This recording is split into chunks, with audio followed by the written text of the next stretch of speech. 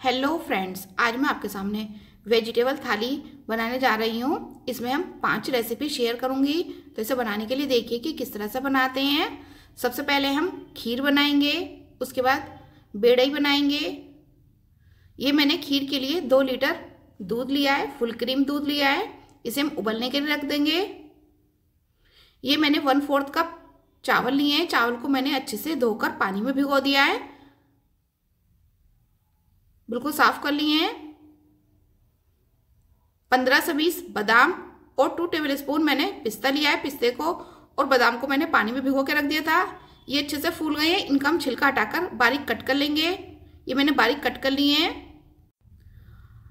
अब दूध में उबाल आ गया है तो इसमें हम चावल और कटे हुए ड्राई फ्रूट डाल देंगे। ड्राई फ्रूट अपनी इच्छा से कम ज़्यादा कोई भी डाल सकते हैं। मैंने सिर्फ़ इसमें बादाम और पिस्ता डाले हैं। केसर में बाद में डालूँगी। केसर भी मैंने भिगो के रखी हुई है थोड़ी सी बीच बीच में चलाते रहेंगे। जब तक हमारी खीर बनकर तैयार होती है, तब तक हम बेड़ई की तैयारी कर लेंगे। बेड़े ही हम पाँच तरह के आटे को मिक्स करके बनाएँगे।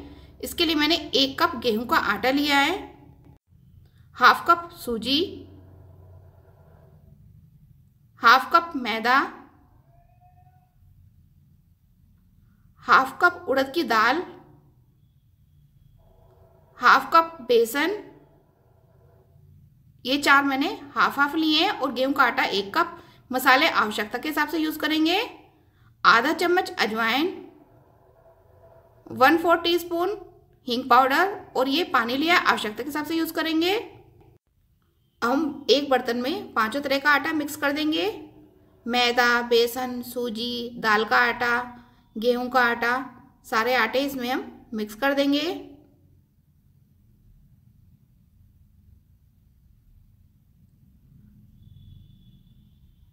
अब ये मैंने पाँचों तरह के आटे एक जगह मिक्स कर लिए हैं। इसमें हम हींग पाउडर ये भी डाल देंगे one four teaspoon half teaspoon अजवाइन ली थी ये भी डाल देंगे। अब हम इसमें मसाले डालेंगे। आधा चम्मच सूखा धनिया, आधा चम्मच नमक, आधा चम्मच लाल मिर्ची powder, one four teaspoon हल्दी पाउडर। अब इसमें हम टू टेबल स्पून घी डालेंगे और पानी के साथ इसका डो तैयार करेंगे। जिस तरह से पूरी का डो तैयार करते हैं, इसी तरह से करना है। इन सबको मिक्स कर लेंगे और थोड़ा थोड़ा पानी डालकर इसका डो तैयार कर लेंगे। जिस तरह से हम सिंपल पूरी का डो तैयार करते हैं, इसी तरह से हमें इसका भी डो तैयार करना है। और कम से कम आधा घंटे के लिए हम इसे डो लगाकर ढक के रखेंगे। अभी डो तैयार हो गया है। एक चम्मच घी लगाकर इसको अच्छे से मसल मसल कर हम चिकना कर लेंगे बिल्कुल। और आधा घंटे के लिए हम इसे ढक के रखेंगे। तब तक ये डो सेट हो जाएगा अच्छे से बेड़े बनाने के लिए। तब तक हम बाकी की तैयारी कर लेंगे। अब ये डो भी हमारा लगकर तैयार हो गया है। इसे मैं ढक के रख दूँगी। हम खीर चेक कर लेंगे। खीर में हम केसर डाल देंगे। केसर मैंने भिगो के रखी थी। आप चाहे तो पहले भी डाल सकते हैं, लेकिन मैंने केसर बाद में भिगोई थी, इसलिए मैंने अब डाली है। हम केसर को भी अच्छे से मिक्स कर देंगे।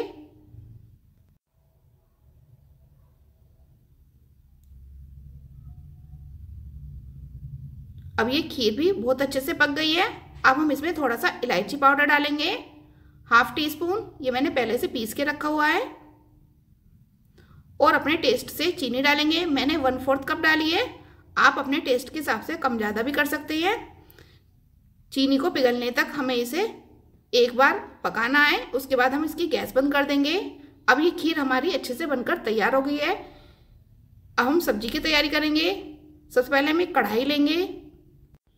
ये मैंने एक कढ़ाई ली है। सबसे पहले हम आलू की सब्ज़ी बनाएँगे। इसमें वन टेबल स्पून घी डालेंगे। घी को मेल्ट होने देंगे। वन फोर टी स्पून इसमें मैंने हींग पाउडर डाला है। थोड़ा सा अदरक और दो हरी मिर्च बारीक कट की हुई। आधा चम्मच जीरा। एक चम्मच सूखा धनिया।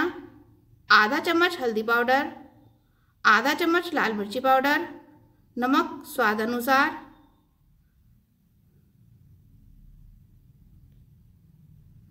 आधा चम्मच बीट रूट का पाउडर। ये रेड फ़ूड कलर है, ये होममेड है। इसकी रेसिपी मैं पहले शेयर कर चुकी हूँ। इसका कलर बहुत अच्छा आता है। अगर आपके पास ये नहीं है तो आप इसकी जगह देगी लाल मिर्च भी डाल सकते हैं, कश्मीरी लाल मिर्च। ये सिर्फ़ मैंने कलर के लिए डाली है। अब इसके बाद टमाटर डालकर अच्छे से भूनेंगे। जब टमाटर भुन जाएँगे, तब हम इसमें उबले हुए आलू क्रश करके डालेंगे। ये मैंने एक बाउल आलू उबले हुए क्रश करके डाले हैं। इन सबको अच्छे से मिक्स करेंगे और भून लेंगे दो तीन मिनट तक। जब ये अच्छे से भुन जाएँगे, तब हम इसमें पानी ऐड करेंगे।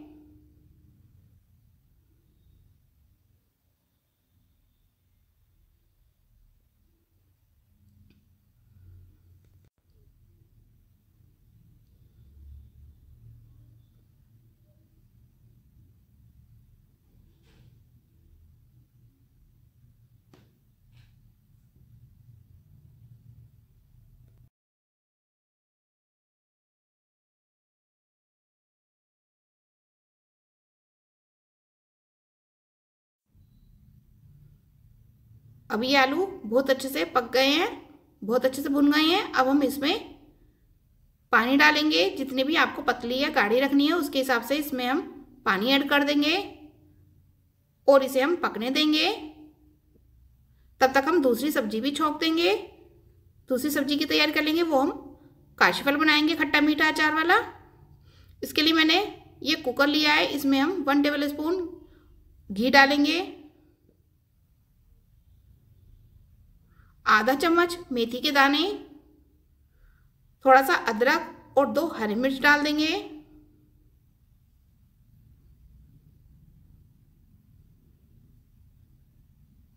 हल्दी पाउडर, आधा चम्मच, एक चम्मच सूखा धनिया, आधा चम्मच लाल मिर्ची पाउडर, नमक स्वाद अनुसार और टू टेबल स्पून इसमें हम चीनी डालेंगे। चीनी की जगह गुड़ भी डाल सकते हैं। वन टेबल स्पून हींग का चार हींग का चार या फिर कच्ची आमी भी डाल सकते हैं। उसका टेस्ट बहुत अच्छा आता है। इन सबको डालकर अच्छे से मिक्स करेंगे। उसके बाद ये मैंने आधा किलो काशीफल लिया है। काशीफल को छिलकी सहित कट किया है और अच्छे से धो लिया है छोटे पीसों में कट करके। अब हम इसमें मिक्स करेंगे अच्छे से। उसके बाद इसे हम ढक के पकाएँगे। अब ये ढक के पकाएँगे हम। अच्छे से मिक्स हो गई है। तब तक हम रायता बना लेंगे जब तक हमारी सब्ज़ी पकती है। ये मैंने दही लिए आधा लीटर। इसे मैंने एक सार कर लिया है रही से। इसमें हम थोड़ा सा नमक डालेंगे स्वाद अनुसार। आधा चम्मच लाल मिर्ची पाउडर। थोड़ा सा सादा नमक डालेंगे अपने टेस्ट के हिसाब से। अब हम इसमें थोड़ा सा पानी डालेंगे। मैं इसमें हाफ़ कप डाल रही हूँ और एक चम्मच भुना जीरा। अब हम इन सबको मिक्स कर लेंगे। आपको जितना पतला या गाढ़ा रखना है उसके हिसाब से पानी मिक्स करेंगे। अब हम इसमें बूंदी भी डाल देंगे। अब ये रायता हमारा बनकर तैयार हो गया है। अच्छे से मिक्स कर लेंगे। अब ये रायता भी हमारा बनकर तैयार हो गया है। सब्ज़ी चेक करेंगे। अब हम इसमें थोड़ी सी कसूरी मेथी डालेंगे। अमचूर पाउडर नहीं डालेंगे क्योंकि इसमें हमने अचार डाला है। थोड़ी सी कसूरी मेथी हम आलू की सब्ज़ी में डाल देंगे और थोड़ी सी हम काशीफल में डालेंगे।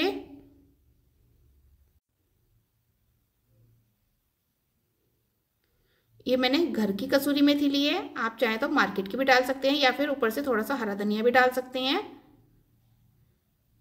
इसे मिक्स कर देंगे। थोड़ी सी मैंने आलू की सब्ज़ी पे डाली है।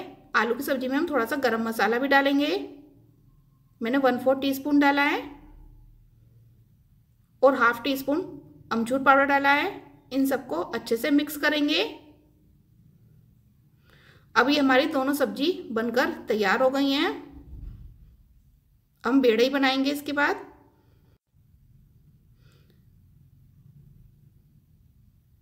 अभी हमारी खीर भी तैयार हो गई है। खट्टा मीठा, अचार वाला काशीफल बूंदी का रायता और ये आलू की कढ़ाई वाली सब्ज़ी। और ये मैंने ऑयल को गर्म होने के लिए रख दिया है। सबसे पहले हम चार बेड़े बनाएँगे तो इसकी चार लोई बना ली है मैंने। अब चिकनाई लगाकर इन्हें हम बेल लेंगे। जिस तरह से पूरी बनाते हैं, इसी तरह से हम इन्हें भी बनाएँगे। ये बहुत ज़्यादा क्रिस्पी बनती हैं, ये गर्म ही खाने में अच्छी लगती हैं। इन्हें हम किसी भी मील में बना सकते हैं। ज़्यादातर वैसे ये ब्रेकफास्ट में बनाई जाती हैं।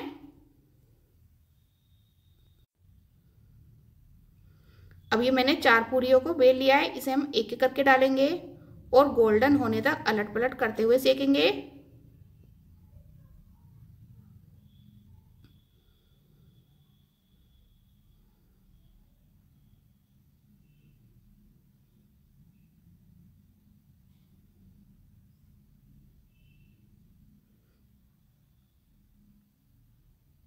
दो, तीन, जितनी भी एक बार में आए, आसानी से उतनी डाल देंगे।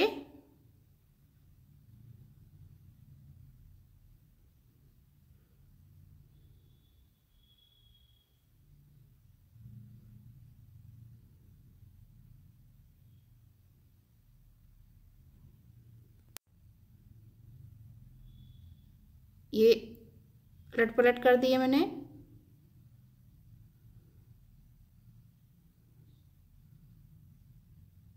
अब ये सिक गई है, इसे हम बाहर निकाल लेंगे। बाकी की भी जैसे सिकती रहेंगी इन्हें हम बाहर निकालते रहेंगे। और इसी तरह से हमें सभी बेड़ई बनानी है।